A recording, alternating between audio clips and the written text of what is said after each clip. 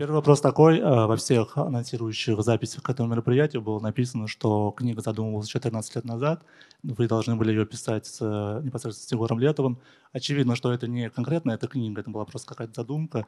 Можете рассказать про нее подробнее, что это было, что это должно было быть тогда? Да, ну нет, это не, не в смысле писать с Егором Летовым. Это было, ну, хотели сделать большую книгу просто диалогов. Там вообще не должно было быть никаких, э, так сказать, э, вот этой а, а, аналитическо-прозаической отсебятины. Просто такая, ну вот как, не знаю, э, Разговор. книга, книга, книга Волкова с Бродским. Ну тут уж, что называется, какой Бродский, такой и Волков в данном случае. Ну, вот. И, но, но... В, в, силу, в, силу, в силу понятных причин как бы это не случилось. Вот. А потом я что-то я все от, от, от всех этих предложений отбрехился, потому что как-то это все мне казалось нечестным и неинтересным. А много было предложений написать про Ну, не то, что много, ну, какие, ну, ну, периодически возникали, там еще когда Азбука было издательство в Питере живо. Ну, какие ну, то есть не, не то, что прям, как бы, что называется, обрывали телефон, ну да. А что сейчас изменилось? Почему вдруг решили взяться все-таки за книгу? Какой-то странный какой-то набор э, обстоятельств, что-то какой-то, ну, какие-то собственные страхи, какие, какой-то возраст. Плюс я наконец, наконец-то оказался без работы и более-менее свою, ну, как бы принадлежу сам себе. И ну, что-то я просто подумал, что это на самом деле не, не, не мне принадлежит все. То есть вот эти все какие-то... То есть пока я еще там что-то помню, пока живы какие-то люди, я на самом деле даже когда в процессе вот сочинения как бы этой книжонки, я, конечно, дико пожалел, что, ну, по большому счету, конечно, нужно было взяться за нее раньше, когда, там, когда были живы там еще люди, которых там я неплохо знал, там тот же Лукич, как бы, э, и Кузьма Рябинов. И, вот. И, э, ну, то есть просто я вдруг понял, что ну, надо, пока, пока мы еще какие-то вот люди, там, в том числе и я живы, нужно успеть как-то это все зафиксировать. Ну, какой-то такой на уровне какого-то такого нервного импульса, то есть тут ничего как бы, никаких э, за этим специальных обстоятельств. Более того, я даже, как бы там Феликс Сандалов не даст соврать, я ему сам позвонил и сам это предложил, что люди, которые знают меня, мне это вообще не свойственно, чтобы я там кому-то что-то предложил, это, ну нет. Ну. ну просто можно сделать какой-то там простой вывод, что, возможно, про таких людей книгу можно написать только там на какой-то дистанции временной. То есть пока там, ну, через год после смерти Летова такой не написать, наверное.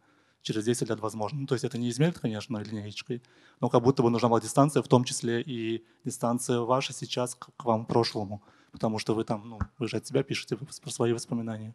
Ну, так ли это, нет?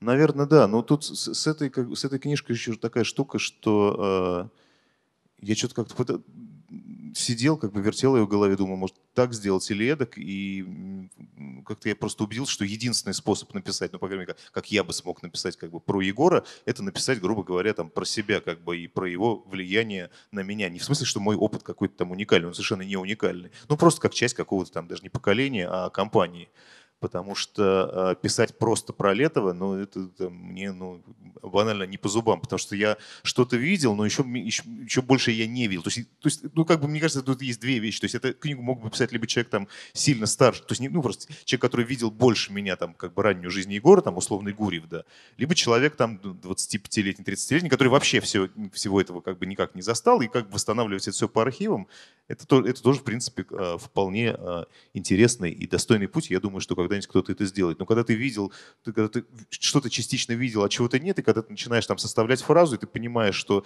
в принципе, ты мог бы это спросить, что называется, у подзащитного напрямую в свое время, но не спросил. Это, поэтому как бы, ну, и, и делать вид, что это из этого как бы притворяться, что это такая настоящая подлинная биография, ну окей. Но можно было, наверное, конечно, найти, поискать еще людей, там каких-то, э, разбиться в лепешку, найти там каких-то его одноклассников. Можно было просить там как бы не, там, не 20-30 человек, как здесь, а 60 и так далее. Но все равно полноценной биографии никогда больше не будет, потому что главного голоса здесь нет, и он уже как бы не звучит. Поэтому как бы вот эти игры, э, ну они, они изначально уже э, несколько, несколько ущербны. Ну, по крайней мере, для меня, как бы для, в моей голове. Поэтому еще... как бы я вот решил просто удариться в эту от себя. Нет, по вашим словам кажется, что жанр биографии в принципе невозможен ни про кого. Нет, нет, нет, нет. Для нет, для меня, я говорю для, для как бы для меня вот из этой из моей из точки, в которой я находился, мне это делать, ну то есть я просто не, не очень понимаю, как это делать. А и как же вы характеризуете получившийся результат? Ну, конечно, написано опыт лирического исследования, но это такое обобщающее понятие. Для вас это какой-то коллаж, эссе. Ну, такие, ну, это такие как бы записки подопытного, я бы сказал. То есть, в общем, ну... А, вы, когда мы говорим про биографию, мы говорим, что типа вам лично сложно написать биографию Летова. И в книжке вы упоминаете, что лучшее интервью с Летовым сделал сам Летов. Э, да, 200 лет одиночества. Ну да, да. И в, в этом смысле есть ощущение, как будто вы имеете в виду, что лучшую биографию Летова мог бы написать только сам Летов. Ну, в этом смысле, да. Поэтому, как, поэтому я, я, я предложил ему делать это, эту историю тогда, в 2008 году, и это, безусловно, была бы лучшая его биография. И, безусловно, это была бы книжка лучше, чем это. Кто знает. Да. А на этой стадии есть у кого-то какие-то вопросы, может? А вы писали книгу очень быстро, месяца четыре, судя по надписи ну, да. в конце. Ну, она, она, и не, она и невелика по, собственно говоря, по объему. Как вы определяли то количество людей, которые вам нужно опросить? Вот, ну, это техническая часть чистая. Да, ну, я понимаю, что возник, могут возникнуть какие-то резонные вопросы, почему здесь нет, например, э, там, Сергея или этого или Манагера, но, ей-богу, здесь нет никакой специальной конспирологии. Ну, как-то вот так э, сложилось. И потом я придумал себе ну, нек- некоторую такую отмазку, что это якобы такая вот как э, типа как триеровская догма, что здесь я разговариваю только с людьми, которых на самом деле там встречал в жизни вот во, все, во времена, вот все, все эти последние там 20 лет. Ну, так себе, конечно, как бы дисклеймер, но тем не менее, хоть это похоже на какую-то, на некоторую концепцию. Какие-то люди просто не отка- отказались говорить э, не со мной, а вообще просто про. Про Летова. Ну, не про, да не про это, просто как, ну, это, ну, это же все было довольно-таки давно, там люди как бы сильно поменялись, там кто-то там стал серьезным православным, то есть это просто как бы воспринимается как какой-то бессовестный. Я даже не буду называть как бы имена, это как, поскольку не, не вполне мои секреты. С кем-то мы просто не, тупо не состыковались, например, с Джексоном из Чернозема, то есть просто по времени. Ну, то есть мы с ним договорились, потом что-то он не перезвонил, я не перезвонил, ну, какие-то такие вот небрежности. И я что-то решил, мне важно было сделать это именно быстрее, и плюс обилие, то есть добавление еще каких-то сольных партий, как бы, а, мне кажется, уже несколько, как бы, то есть вот ее раздувать мне не хотелось. Вот такая энциклопедия голосов получается. Ну да, да, да. Слушайте, у меня есть э, вопрос э, прямой. Э, для чего там есть глава про Станислава Ростовского? Это кинокритик. А, почему вам нужна была глава именно про него? Такая именная, где вы описываете? Для вас это какой-то типичный фанат Скорее, да, этого? нет, скорее, скорее, то есть вот, ну, поскольку это опять-таки такое все это, в принципе, через призму каких-то моих собственных идей, мне показалось, что это, ну, вот такой умение, опять-таки делать совершенно как бы не в Ростовском, на его месте мог быть кто угодно, но просто такой вот голос один из. А вы, а вы... То есть, да, это, это может быть резонный вопрос, почему здесь, например, здесь есть э, Ростоцкий, который лето, по глаза не видел, да. а нет, например, Манагера. Ну вот как-то вот вышло так. Ну да, Ростоцкий там, видимо, как раз-таки для иллюстрации ну, это про, тру, ну, тру фаната, может ну, быть. Это, да, это как, поскольку эта книга же, в общем-то, не про, как бы не про Летова, а про психическое, даже психопатологическое воздействие, которое он оказывал mm. на там, неокрепшие умы, в том числе как бы лирического героя этой книги, то вот Ростоцкий это как раз, мне Такой кажется, тип. неплохая иллюстрация такого как раз постсоветского подростка. А давайте поговорим про ваше знакомство с Летовым, как вы с ним познакомились. И как вы с ним подружились, потому что, я знаю, познакомились вы не очень хорошо, а подружились попозже. Ну, дружи, дружи, ну, дружить это как бы, это как бы, да. да, это все звучит. Я тут была, у нас как презентация этой книжки несколько дней назад на Красной площади, и я что-то ходил, и там, и там девушка как бы зазывала, соответственно, народ, и монотонно повторяла. Заходите на презентацию друга Егора Летова, заходите на презентацию друга Егора Летова. Это такая, такая абсолютно уже композиция группы «Коммунизм». Я никогда не был другом Егора Летов, ну, в классическом смысле слова. Ну, у нас были хорошие дружеские отношения, но мы, это просто глупо звучит, потому что мы в несколько разных, вы понимаете, весовых категориях. И вообще я смотрел на него всегда как бы несколько снизу вверх. Может быть, с годами бы это отношение ушло, но я всякий раз вздрагиваю. Э, вот, от, от, от того, что вы дружите друг ну, Летова. Да, мне вот это какой-то... Да и вообще вот эта должность друг Высоцкого как-то... А, а, начали, мы, а, а начали мы общаться по, просто по пластиночной линии, поскольку его все это как бы очень интересовало, а я тогда этим плотно занимался всяким коллекционированием, в том числе как бы интересующих его материй, там всякие, всякие, а всякие, это возможно, всякие, вот, всякие э, психоделы и все такое прочее. Вы коллекционируете, он музыкант уже великий на тот момент. Это же был конец 90-х? Да, год, год 99-й, 2000-й. Mm-hmm.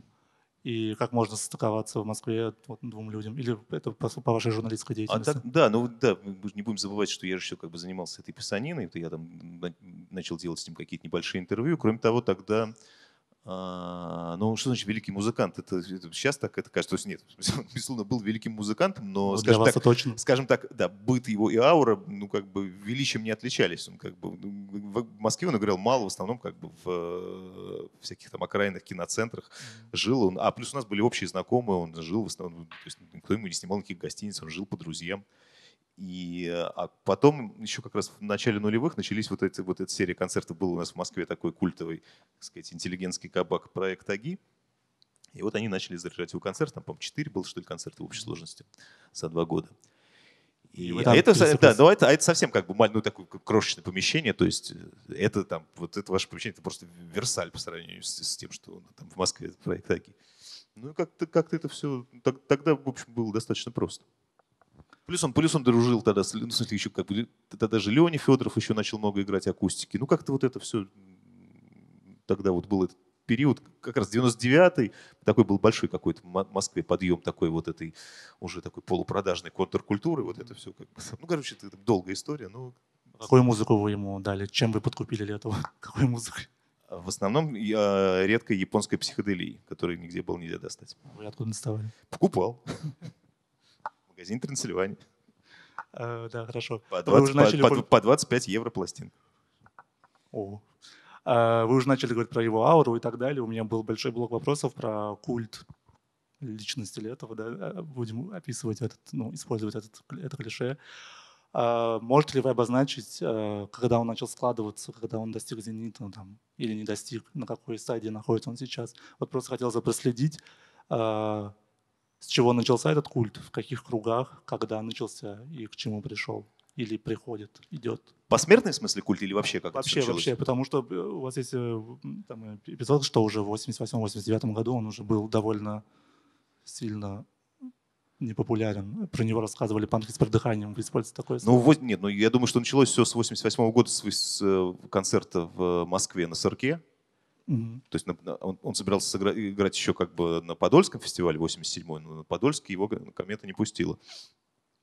И, то есть он там присутствовал в качестве зрителя. А так вот главная точка, конечно, это Сырок в 88 году. А потом Гурьев с контркультурой. Ну, то есть вот для меня, в принципе, это скорее как бы вот, вот эти гурьевские дела, которые это все вот придумал, весь этот егорцентризм и так далее, и так далее.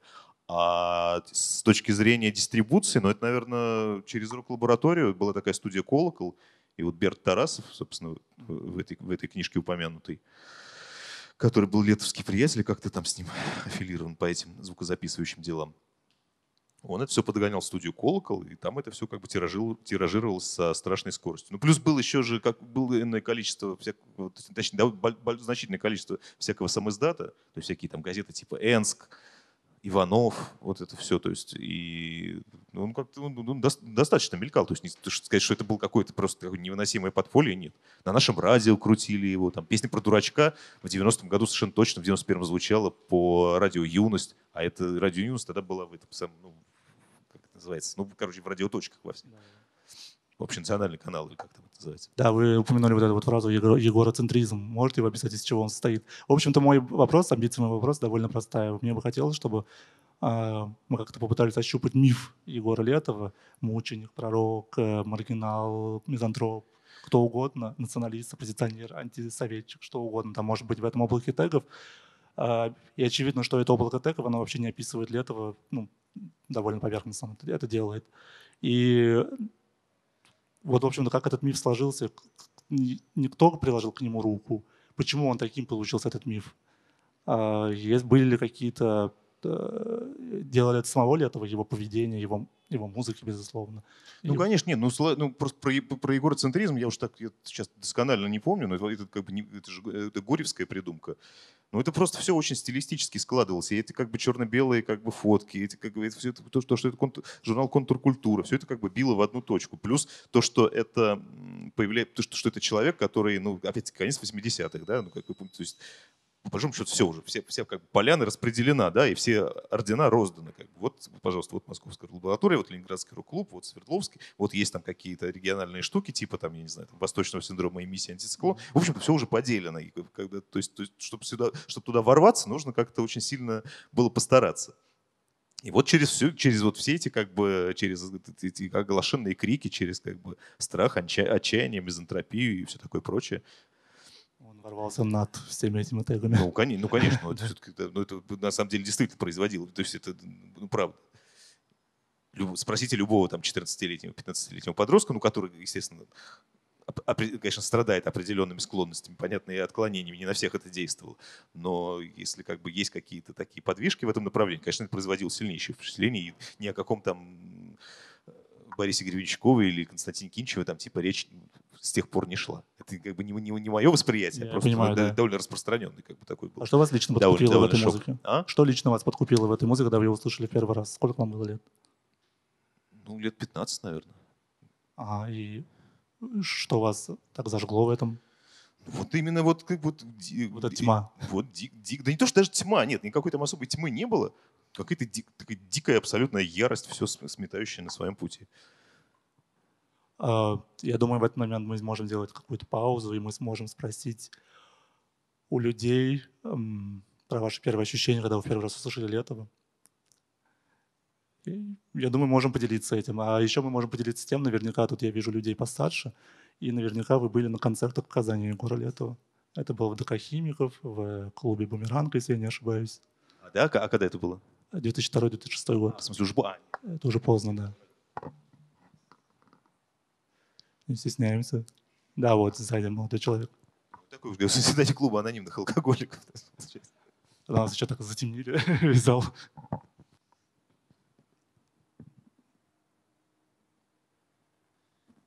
Там был, там тянул руку молодой человек в зеленом с микрофоном к нему. Дайте нам.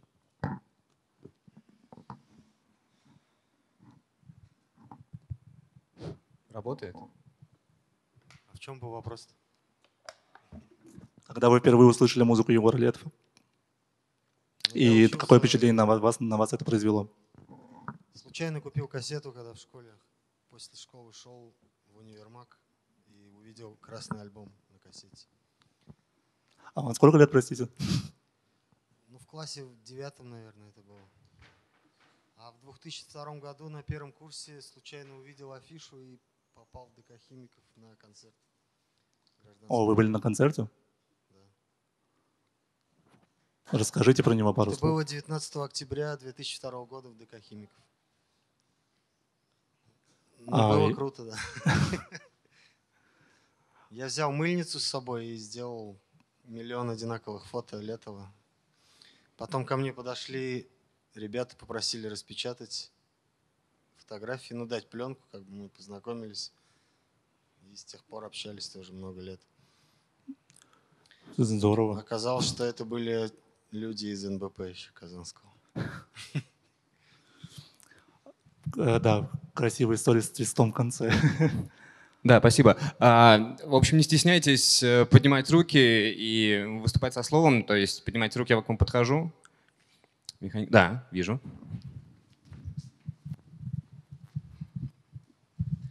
Да, всем привет. Большое спасибо а, Максиму, да, спикеру а, за эти истории. Ну, если говорить о том, как, когда я услышал, мне было лет 12, наверное, а, мой брат слушал э, в основном металл тяжелый, и у него каким-то образом затесалась гражданская оборона, там много раз переписанная.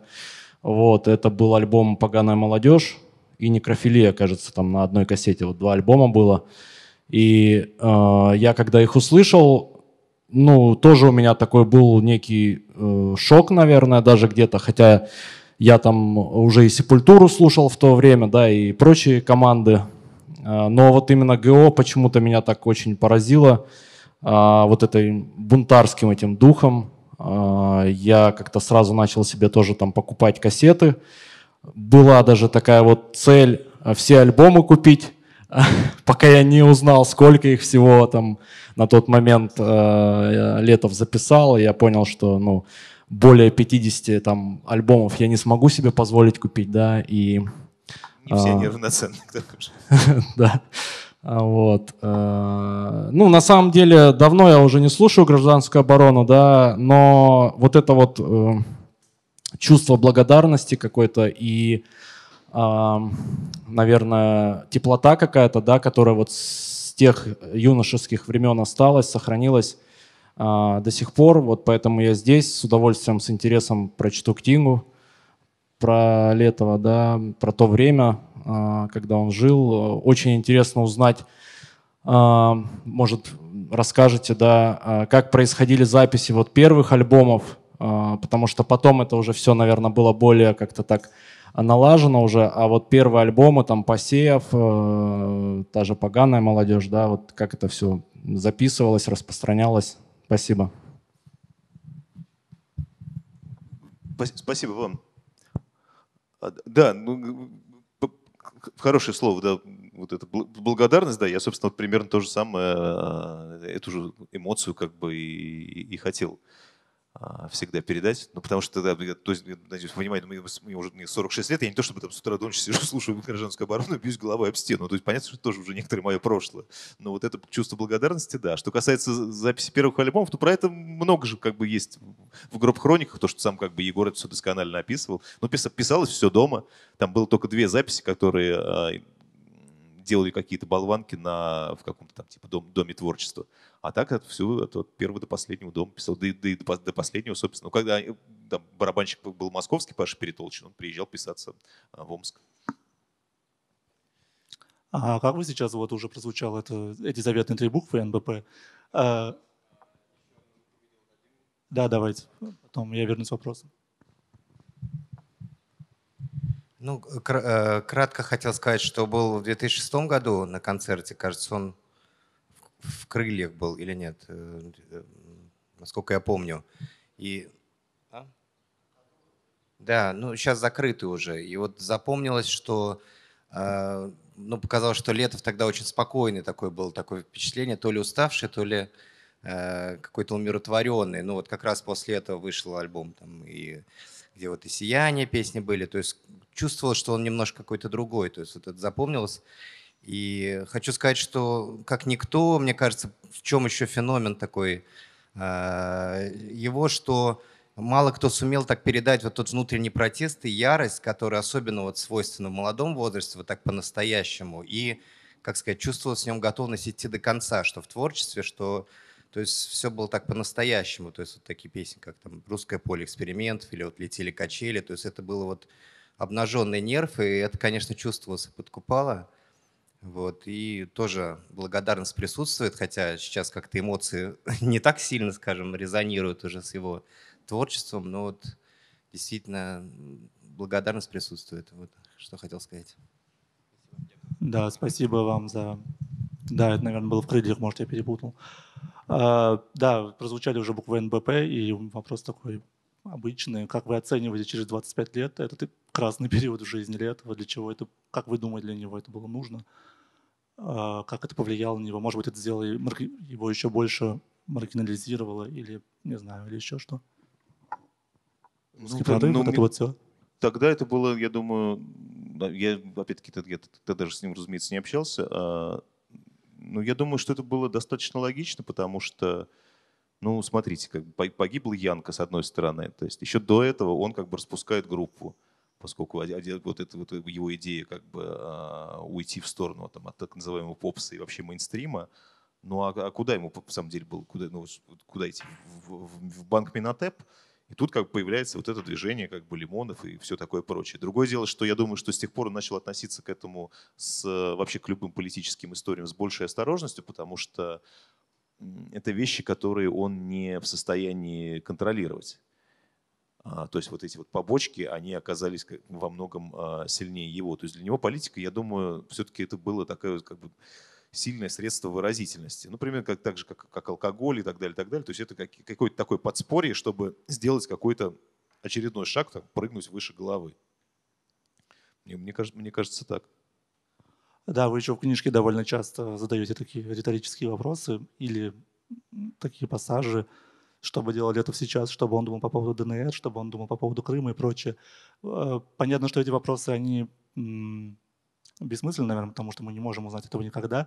Но... Не, да, не я их задают, просто то, что, да, витает, то, что витает в воздухе. То, что витает в воздухе. Но тем не менее, как вы думаете, почему у какой-то части людей есть потребность знать, что Летов думал про те или иные там, политические вопросы? Потому что он один из, один из последних э, таких, э, как не смешно, таких вот скрепляю, скрепляющих фигур, которые ну, просто по, мнение по всем вопросам. Да? То мы уже говорили там сегодня с Сашей из НД, он говорит, что вот там вот разница, что, что, как мне кажется, сейчас то есть, вот на смену героям пришли персонажи. Не в том смысле, что они как бы стали хуже, но э, Летов и даже там тот же Шнуров и та, та же Земфира, э, без относительно, я их совершенно не сравниваю, как бы к ним не относись, но это последние фигуры, которые как бы еще живут э, старым временем и старым восприятием. То есть это вот некая такая как бы кумирня, да, который как бы, которым как к оракулу, так сказать, к которым как к оракулу обращаются по всевозможным вопросам. А Летов, поскольку играл как бы на куда жил прям совсем на острие, работал с куда более тонкими одновременно грубыми материями, естественно, он притягивал себе эти вопросы в большей степени. Такой, это был такой какой-то последний норматив, как бы данный в отрицании. И, естественно, вот это все, это, как у «Встань, отец, вразуми, научи», это, это естественная реакция. А как вы оцениваете его посмертное признание? Ну, вроде как мы идем по пути, что есть фильмы, трибьюты, вот книжки выпускаются. Ну, это не единственная книжка про Летова. А прочее. Есть ощущение, что, ну, естественно, он такого узаканивается в каноне культурном русском. А, но он в этот русский канон в большей степени как будто увлекается как поэт, условно говоря, а не как музыкант. Ну, то есть вы об этом тоже в книге довольно часто пишете. А вы чаще обращаете внимание, что он вообще-то музыкант в первую ну, очередь. Мне, мне, да, мне просто ближе эта история как бы его как музыканта. Я воспринимаю даже не сто, это, как бы, это даже не столько музыка, это может, это скорее как бы там звук, фонетика, интонация. То есть ну, это восприятие идет вот так. Я не могу себе представить как бы себя читающим как бы эти тексты на бумаге. То есть дай бог, что люди их читают так. То есть понятно, что это тоже определенный такой некий способ как бы обеззараживания как бы летого типа, ну, то есть понятно, что типа, типа слушать, это, слушать это невозможно, но зато стихи хорошие. То есть так и быть. Но пусть так как бы. В любом случае ему это уже не, не навредит никак. Да, без слава богу. Вот, а, тем не менее, есть ощущение, складывается ощущение, что Егор Летов как музыкант был намного больше, тем, чем та музыка, которую Летов играет. Э, так ли это? Почему он... Ну, допустим, мы сегодня утром с другом ехали в машине, мы слушали «Поганую молодежь». И он говорит, почему он играет такие простые, агрессивные панковые рифы? Он же наверняка мог или знал больше, как минимум, и мог играть более сложную музыку. Но он выбирал сознательно какую-то очень простую, такую ломовую музыку.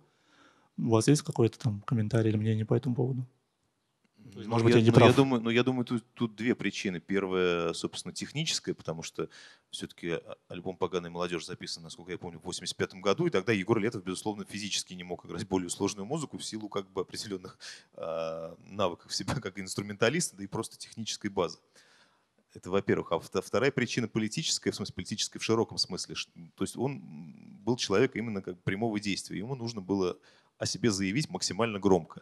То есть играя он в 80, ну просто в 88-м, там, 89-м году, вот эти, в конце 80-х, чуть более сложную как бы атональную музыку, ну, мне кажется, тогда даже было очень много и очень неплохих групп. То есть это, он бы остался как бы в том времени, в когорте групп, там, я не знаю, типа Восточный синдром, миссия, я их, безусловно, не сравниваю, там, Восточный синдром, миссия антициклон, работа ХО, там, я не знаю, коллежский осердж. Было огромное количество интересных, как бы, именно таких вот около авангардных э, людей игравший ту музыку, которую сам Егор тогда и слушал. Но ему важно было как донести нечто большее. То есть при, всей, при всем своим там деланном как бы одиночестве и там, мизантропии, он это все как бы делал для людей, для него был очень важен эффект.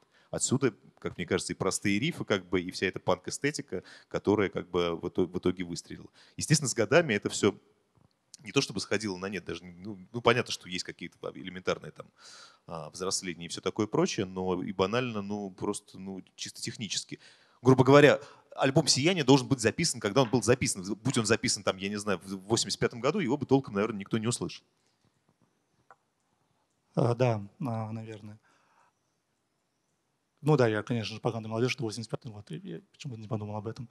А, хорошо, да, теперь такой вопрос. Тем не менее, есть ощущение, что вот миссия приручить Летова и сделать его полностью ручным и там показывать его по спокойной ночи малыши, условно говоря, она невозможна. Ну, то есть мы Можете ли вы, можете ли вы или кто-нибудь представить, что э, Милохин и Моргенштерн будут на премии Муз-ТВ петь «Поганую молодежь» в честь трибют в памяти там Летову, и ему дадут там почетную награду «Легенда рока». Например, Земфира ее получала, условно говоря.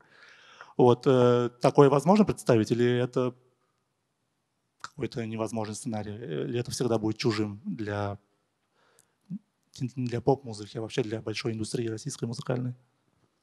Понимаете, тут мы это такой, такой немножко а, а, раз- разговор, который изначально как бы в, сам- в самом вопросе содержится как бы его как бы смысл, точнее антисмысл, потому что как бы Егора давно нет, поэтому как бы его могут приручать как угодно, но он уже не приручился. Вот. То есть, ну тут э, а как бы то, что происходит потом, это все, ну это скорее как бы из э, такое пополнение коллекции, это такой как очередной альбом группы «Коммунизм». Как бы, вот это всё. то есть, то есть я, я не думаю, что его бы, там, это, ну это какие-то мои домыслы, очень уж бы как-то сильно все бесило. То есть все это как бы и аэропорты, и все такое прочее, это, в общем, скорее вот туда. Да, да, в книге У него, тоже был, у него же есть этот, был, вот этот вот громоотвод для всеобщего абсурда в виде группы «Коммунизм». Вот это вот как раз все туда. Да, вы пишете, что в книге, что никакие силы не могут апроприировать Летова до конца в себя, потому что он всегда как-то выскальзывает из рук. И даже я особенно заметил, что в финале вы используете по поводу Летова, Летов — это Джокер. И вам кажется, Летов — это Триксер такой своеобразный, который так, где возникает а, и все превращает в абсурд, в игру. И Не всё- нет, я думаю, что ну, там сила в том, что как раз вот при, при вот то, о чем мы вот все сегодня как бы в зале говорили, про всю там эту как бы искренность, ярость и, и неподдельность, он все равно там была нотка какого-то какой-то вот странной игры как бы и, и- переворота. То есть это было все очень достоверно и надежно, но оно этим не исчерпывалось. То есть это вот, ну, все-таки не, он, он сам, собственно, про это говорил, что у меня там типа половина песни издевательски. Ну, это как бы неважно, мало ли кто там что говорит, но, но безусловно, эта нота в нем была вот этого как бы такой, такой как бы всег- всегда как бы нек- некоторого ускользания. А, еще один перерыв, чтобы мы отдохнули. Может быть, у вас есть еще вопросы? Любые, уже любые. Можно все еще рассказывать про первый опыт знакомства с гражданской обороной. Да, да. Микро. А, Я не совсем уловила, а как он относился к вот этой своей популярности? Ну, то есть он ведь застал момент, когда его уже э, обожали. Причем все, включая, ну там, не знаю, попсовых блондинок условно. Нет, ну тогда, тогда все-таки такого еще не было. Нет, ну, например, в 2008 году нет. Ну, все-таки такого, такого как бы ма- массового еще такого все-таки помешательства не было. А, хорошо, а как бы он отнесся, зная, что вот сегодня, я когда сюда собиралась, объясняла дочке своей 13-летней, куда я иду. Я говорю, вот знаешь, твои одноклассники поют песню, да, все идет по плану. Вот, э, и, и, и дальше хотела сказать фразу, вот, наверное, зная он это, он бы, ну, как бы не одобрил. Потом думаю, черт его знает, а может, одобрил бы. Ну, то есть как бы он относился к тому, что теперь это прям попса. Да я думаю, да я думаю, что скорее как бы со смехом. Он, э, насколько я помню, к концу жизни он как-то к этим вещам относился там спокойно. Ну, как, как вот люди как-то воспринимают его, воспринимают. Единственное, что и вот точно было бы, конечно, ему пришлось бы туго по нынешним временам, это вот это бесконечное растаскивание в стороны, бесконечные там вопросы, там, типа, сказать, Егор, так все-таки ответь, Крым наш или, или чей? И, и- и вот так вот, потому что и с нарастанием все-таки, когда, ну, когда умер Летов, еще, грубо говоря, вспомните, Фейсбука толком не было, то есть как бы вообще, то есть вот это как бы степень доступности, степень вот этого всеобщего как бы обсуждения как бы и внедрения в частную жизнь, вот и, и вообще вот этот поток информации, вот как бы он этого всего избегал, вот это действительно большой вопрос. А то, что как бы слушают блондинки, то ради бога, ну, а ну, что это, разве нельзя это не приветствовать? А еще вопрос. Максим, спасибо большое за вашу искреннюю книгу. Вам. интервью вы говорили, что Егор, оказавшись в Калифорнии, сказал бы, что он бы с удовольствием остался в Сан-Франциско, где к нему бы никто не приставал, цензурно выражаясь, Он там по-другому выразился. Вот то, что вот он жил в Омске, это было условие его изоляции или вне Сибири он себя не представлял, и это было необходимым условием для его творчества. Спасибо. Сложно сказать, но он был, ну, конечно, он был такой, он домосед, как бы человек, который как бы живший вот в этом своем как бы лесу и в своем районе. Но я думаю, что ну, он, же, он же, в принципе, очень эво- эволюционировал. То есть с годами это все менялось. И а, я не говорю, что он просто взял бы и уехал в Калифорнию, но то, что он, в принципе, держал в голове какую-то вот такую возможность, как мечту поехать и работать там на какой-нибудь, там, я не знаю, а, ферме или станции по спасению животных, это, это, вот это, это определенно было. А, еще... Его, во всяком случае, идеи переезжать в Москву у него точно не было. Еще вопрос. Э,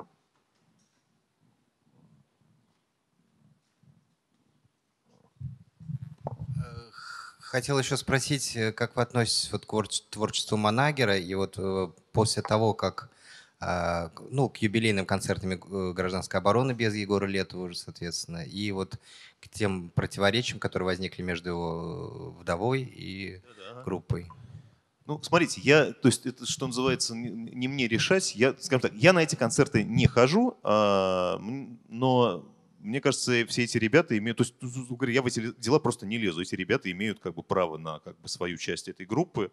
а, вот и все. Если, там, что касается меня, ну я там просто так, что называется, исторически сложилось, я дружу с Наташей, да. То есть я знаю, что у них там как бы какие, все эти контры, но я в них как бы опять-таки не влезаю, ну, потому что я здесь в данном случае человек со стороны. Я не вижу в этих концертах там ничего там какого-то криминального, скажем так, но я на них ни, ни на один не пошел. Я, я давно не слышал, что, чем он там как бы занимается, но, безусловно, человек величественный.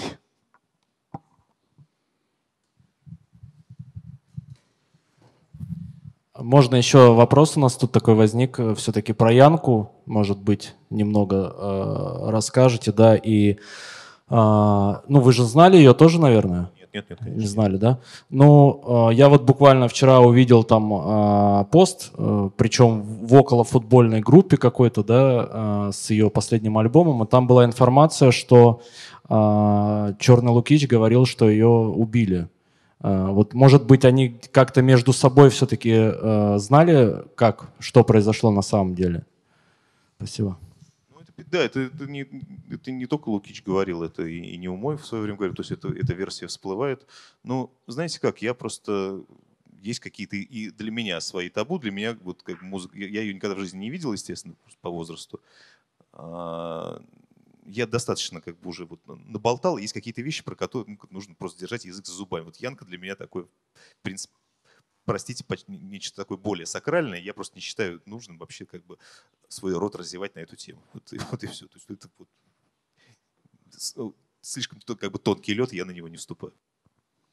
Нужно, здесь нужно просто помолчать, ну, просто мне. я имею в виду. А есть еще вопросы? Но мы можем от Янки вернуться снова к Егору. А, Мы вот говорим про любовь, про культ, но, насколько я понимаю, у Егора было много, как сейчас говорят, хейтеров. Ну, то есть его обос- обоснованно или необоснованно многие группы людей ненавидели. Можете об этом рассказать? По каким каналам строил, там, протекала ненависть к Егору Летову и каких там субъектов? Ну, э, основ- основные, конечно, вот, конечно, эти две истории. э, Это э, смерть Янки, в которой его так или иначе косвенно обвиняли. Они, н- некоторые не косвенно, а напрямую. А вторая история с, с этим, собственно, с Лимоновым и всем этим на- национал-коммунистическим движением. Вот как бы две основные точки. Но на самом деле и до этого его тоже, в общем-то, не, многие очень не любили. А до этого за что? Ну, за, вот за, за все, за крик вот это, за грязь, за мат, за то, что все как-то вот, что, что так не делается. То есть его, конечно, очень сильно снобировали тогда. Ну, Я просто помню по детству. Не то, чтобы... То есть, с одной стороны, это была какая-то такая популярность, но она была, конечно, сугубо дворовая. То есть я отчетливо помню, что все как бы пальцем у виска вертели, когда я говорю, вот там есть некая оборона. То есть это такое было очень специфическое развлечение. А как у Егора строятся отношения с его аудиторией? А Вы об этом пишете, и э, я сейчас могу не точно процитировать, и там вы, я не помню, дано вашими словами или в цитате, что э, аудитория Егора Летова делилась на быдло, эстетов и своих. Вы- Это- нет, это он. Это, это, Это он это- говорит, это, да? это, это- это его выражение. Я, ну, я не, не- не Ну, называю людей быдлом, как, впрочем, и эстетами. Это из какой-то еще то есть старые какие-то его установки. А, То есть это как бы действительно эта фраза характеризует его отношения с его аудиторией? То есть Не думаю, смотрите, это же все, это было очень давно. Это вот это как бы история про там, там не буду, там были гопники свои эстеты. Да, это, гопники, в принципе, гопники. это, насколько я помню, это вообще какой-то 88-89 год. То есть это был прям вот как бы сов- совсем другой человек, совсем другими установками. Вообще это интересно. То есть вот то, что мы сейчас говорим там о Летове, особенно как бы как вот, уже вырос молодое поколение, это же все воспринимается реально уже как какие-то такие, ну, почти античные дела. Так вот, киники, стойки, то есть доходят какие-то отрывки, которые мы там здесь трактуем. В общем, ну, это правда. С годами это просто как-то обретает черты каких-то таких вот, собственно, афоризмов и максимов, а потом мало ли кто че- что, там он сказал. Я не, я могу, никак, то есть, естественно, как бы его это ну, несколько тяготило, его собственная популярность, так, выражавшаяся, скажем так, таком несколько неадекватном, так сказать, поведении. да, но чтобы он когда-либо там снобировал как бы свою аудиторию или там сказал, что ну вот там типа нужно там что-то там просто для денег, что нет, нет, э- этого ни- никогда не было. А кто для него были тогда свои в этом случае? Ну, То есть мы опять-таки трактуем слова человека, которого давно нет, который он сказал в 88 году, но тем не менее. По-вашему, кто для Летова свои? А, я, я рассчитываю, что мне, как, я, поскольку уже так много про говорю, вот начинаю фразу со слов Егор Летов думал или Егор Летов сказал, что когда-нибудь меня просто гром небесный поразит за это, потому что Очень я- жарко, очень я- жарко да, и пора, и пора бы уже. Я, я не знаю, кого, кого бы он сейчас считал своим. Ну, какой-то у него был близкий круг, как бы э, изначально там, как понимающих людей, в, кото- в котором он там дико раскрывался и был при- приятнейший, дружелюбный человек. Они любили его еще и потому, потому что он был крайне неприятный тип, я имею в виду, для, то есть вот э, по Да, при да, да. первом приближении. Я помню, брал у него какие-то первые интервью, это ну, я вам не пожелаю такого контакта. А, да. А, да, там, там вопросы еще? Да, вот в самом конце.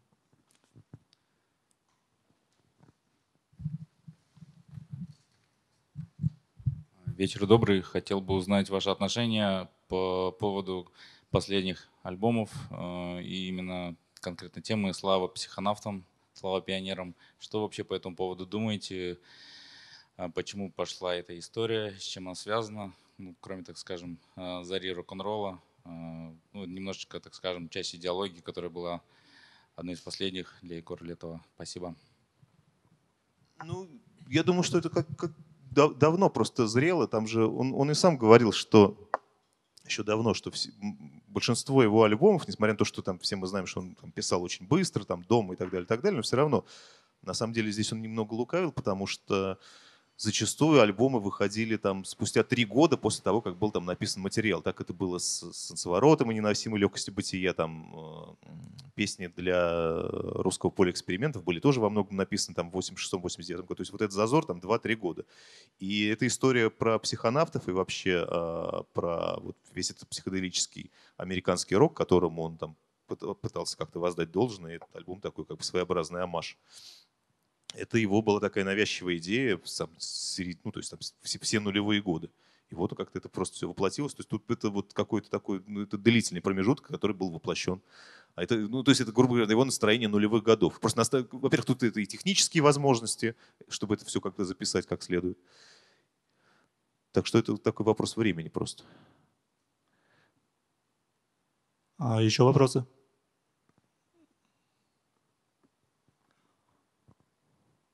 Так, я задам самый такой простой вопрос из задней парты. Ваши любимые песни летого? Можно, можно не одну назвать, можно три.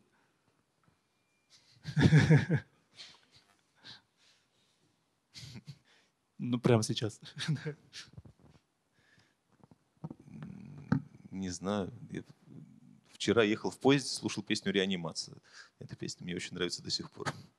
То есть, точнее, не вчера, а сегодня ночью. Собственно, как он относился к э, невероятной популярности своей вот этой главной, ну, как бы главной песни «Долгая счастливая жизнь»? Долго счастливая жизнь-то? Да, х- да хорошо он относился к популярности. Это все как бы ну, такое кокетство. Я помню, когда он ее написал, вот это, вот, вот это я как раз помню. То есть тут я, вот тут, может, меня небесный гром как бы и милует, потому что это, я правду сейчас говорю. Потому что он как бы протянул как бы кассету с записью, вот, первой болванки еще, не, не альбомной даже, а под гитару и драм-машину. Он сразу сказал, вот, написал хитеру. Вот Как раз про долгую счастливую жизнь. Так что он прекрасно отдавал себе отчет, что он и делает, и как бы и для кого. Не соврал. Да, да, мои вопросы закончились, а мои скучные вопросы Да закончились. я мои ответы давно.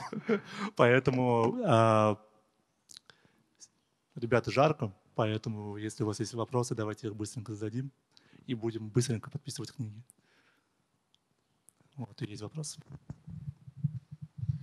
В анонсе книги говорится о том, что это не столько про Летова, сколько про время, да, про ваше восприятие. Это, этого. это, это обычные такие из- из- издательско-маркетинговские разводки. А, просто для понимания того, как бы стоит ли читать, то есть сводить такие эмоциональные моменты.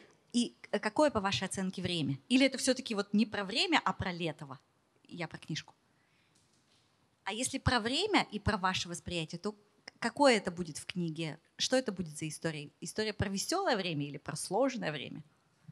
Ну, это такая, скажем так, гибридная биография. Это, безусловно, как бы не история про время и, не, упаси бог, не про поколение. Это какие-то слишком уж громкие слова. Мне кажется, как я уже говорю, это такие как бы записки подопытного. Это, это даже и не про меня. Есть некий как бы лирический герой, который испытывает на себе там сильнейшее влияние определенного вида музыки, да, и пытается как бы внутри вот этого пузыря как бы изложить как бы всю, так сказать, шоу-бизнес как, как, собственно, сказано на альбоме в эту самую невыносимую легкость бытия, вашему вниманию предлагается все вышесказанное. Раз, спасибо, что приехали в гости к нам. Спасибо Вопро- вам. Вопрос Я здесь уже не первый раз. Да. Ну, вопрос достаточно такой сложный на самом деле, но как человек, который как-то вот я первый раз вижу человека, который как-то более-менее знал Егора Летова, у меня вопрос вам будет вот такой достаточно интересный.